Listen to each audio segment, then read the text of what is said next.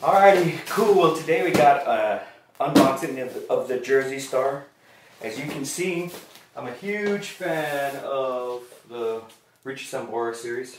Uh, actually, Kramer's in general, but Richie Sambora pretty much is what I like. Um, I've got a JS here from um, the early 2000s uh, and 287 Kramers. And then uh, I've, I've managed to get a few extra necks. So this is a Pacer Custom. I believe the Pacer Custom 1. I don't know. Uh, but it's got the Richie Sambora neck on it. And so does my Klein uh, Wizard. It's got a, also Richie Sambora neck. So I like the feel of the neck. So I, whenever I find one, I, I usually try to purchase it if it's within my means. But today we've got the Jersey Star reissue that just came out. A friend of mine just bought it. It's going to give me the opportunity to actually um, unbox this. So we'll get to see uh, what it looks like. This is uh, shipped out from Music Zoo. So you get an idea of where this was purchased. And here we go.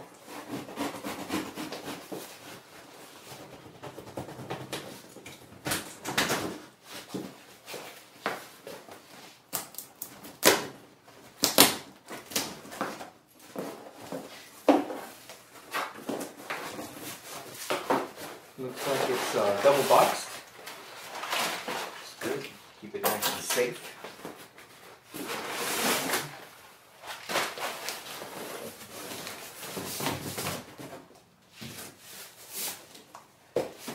Move this out of the way.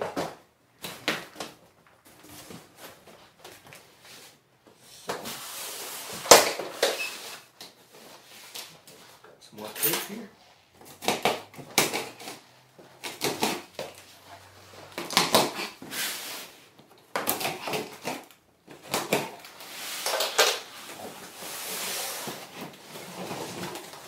Got a cool Kramer logo there.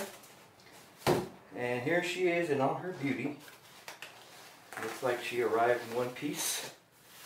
Yeah, got some pretty cool Kramer swag here. Kramer sticker.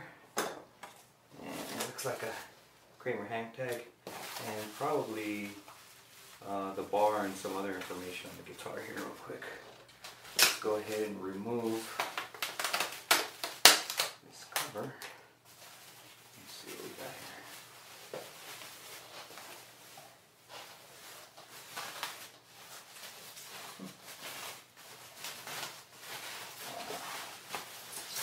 The color just pops, man. Very similar to the color of the original RS that I have. Um, you know, there are some differences between this series and the um, previous series. Um, this series uh, doesn't have the Schaller um, tuners and uh, I believe this series has the Korean FRT 1000 uh, but this one does have the original Seymour Duncan pickups which is cool. Um, the previous version did have the original uh, Floyd Rose Schaller locking tuners but it had Kramer um, pickups uh, actually Gibson pickups but you can see there the differences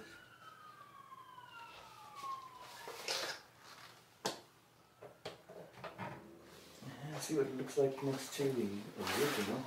You can see it, it looks like it's a little brighter. That might just be the age of the clear, the clear, you know, it yellows with time. As you can see on my original RS, um, the white has actually turned to, geez, I don't even know what to call it. It's almost like a light yellow. Um, so it's yellowed quite a bit in the past few years. Yeah. There is a difference in the neck profile.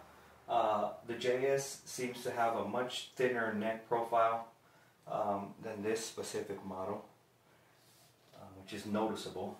It's probably a little bit closer to the original series. Kind of feels about the same. I don't have a tape measure to measure it with or anything like that, but the inlays look pretty clean. Um, I think in the original they went more with a glossy look up front. This one has more of a satin uh, finish. Feels nice. Uh, the fret edges feel really nice. It's got a nice setup too. Uh, one of the other things that I noticed that's different um, is the way that the screws for the five-way switch uh, are. These, they're closer to the original ones. Uh, the original ones were kind of the same way. They kind of sit on top, but on the original JS, um, they actually sit, sit flush mount with the rest of the guitar. So, um, so yeah, it's pretty cool. The star itself looks about the same on the body. Kind of, it does fit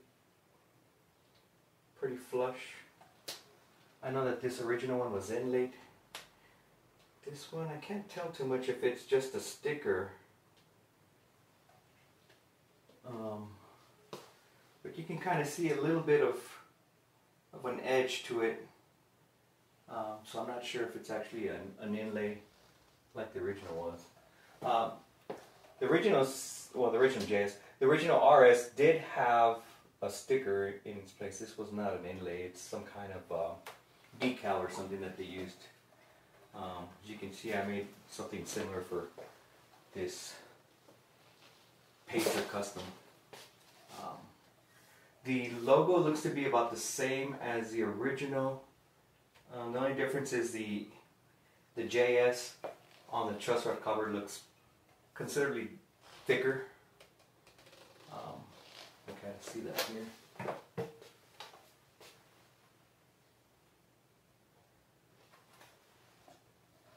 Yeah, you can see the difference in the width of the necks there.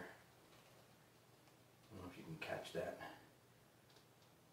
But, uh, the dots are also considerably bigger than they were on the JS. And the original JS had uh, back mounted Floyd Rose, whereas this one is top mounted. One of the nice things about the original JS2 was uh, it did come with Schaller locking uh, strap locks, uh, as well as an original Kramer case, which the new series doesn't come with. Um, but overall, still feels like a pretty nice little. Doesn't feel too different than the other ones. Uh, aside of the neck, the neck definitely feels a little bit fatter, but um, looks wise, it looks pretty solid.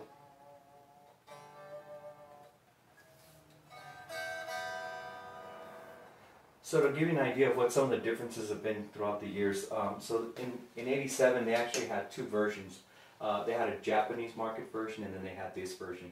And one of the things that deciphered the Japanese from the American uh, they, for one, uh, they used a really uh, inferior um, tremolo on the Japanese versions. The American versions did have a original Floyd Rose.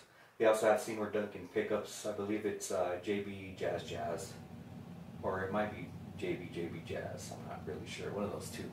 Um, they also didn't have uh, Schaller tuners. I believe those usually had um, Gotoh tuners. And so another difference between the Japanese and the American RS uh, were the, the barrel jacks. Japanese had a square barrel jack. These have, um, well, the barrel jack.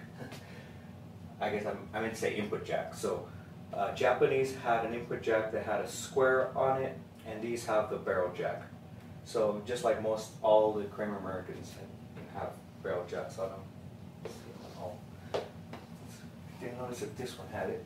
Yep. Barrel jack there. Um, one of the other differences you'll notice in the Japanese version is a lot of them had maple necks and uh, they didn't quite look like this. They, they kind of just had a black um, decal that sat, sat on top of the maple that they just clear coated over, as far as I could tell. I've never really seen one in person, but I've seen some people that scalloped them and you can see they're not an inlay, they're just kind of some paint or, uh, or, a, or a decal. Um, so that's kind of what the difference is between this version and a Japanese version, which I don't have one. And then between these two, um, again, they both had original Floyd Roses. Um, this one had the Seymour Duncans, whereas the original JS didn't. It had Kramer pickups, which I believe were outsourced from Gibson USA. I'm not positive on that. Um, the logos are different. These have a shorter, the, the block logo, whereas these have a pyramid logo. Um, and they use the same logo on this version of JS. I think that's pretty much it in terms of the stuff that pops out at me. A lot of people ask me, you know, what, what's, how can you tell between the original JS and the RS? Well, the RS didn't really come with a maple neck. I've only seen one RS that had a maple neck on it, and a, guitarist from Australia, I believe, owns that guitar. And that guitar was actually missing the first inlay. It would only start on the third fret and go down. And the, the inlays were very similar to this. Um, his was red like this. I believe his had a black headstock. Um, so when you look at um, an RS and a JS, if you see maple neck with inlays um, and a body inlay and, and a headstock inlay, then most likely it's a JS as long as it has the Kramer block logo. But now it's going to be probably a little bit harder to decipher between these two, but you know, the difference between these again are Seymour Duncan pickups, Kramer pickups. Um, these don't have flush mounted um, three-way, uh, five-way uh, pickup mounting screws. These do. Um, original Floyd Rose, uh, Korean FRT 1000 uh, on that one, it's all Schaller, including the um, the uh, truss rod adjustment tool holder. Um, also, you'll notice that the the actual uh, serial number is different. Um, on the original JS, they're actually down here. Well, at least mine is. I don't know about some of the other ones.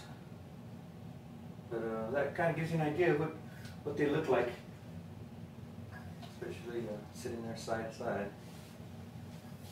So that's the that's the JS. And oh, one more thing that I wanted to show to, to show you was a difference in the backs. Um, this one has the same routing cover on the back as the original JS, but when you look at an RS, it's a little bit different. You can really see the shape is pretty unique to the uh, Sambora. Whereas um, this back cover is very similar to what they used on all the other guitar bodies.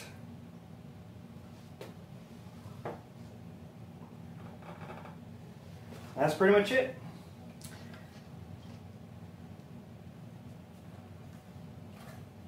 Cool, man. We'll keep rocking on.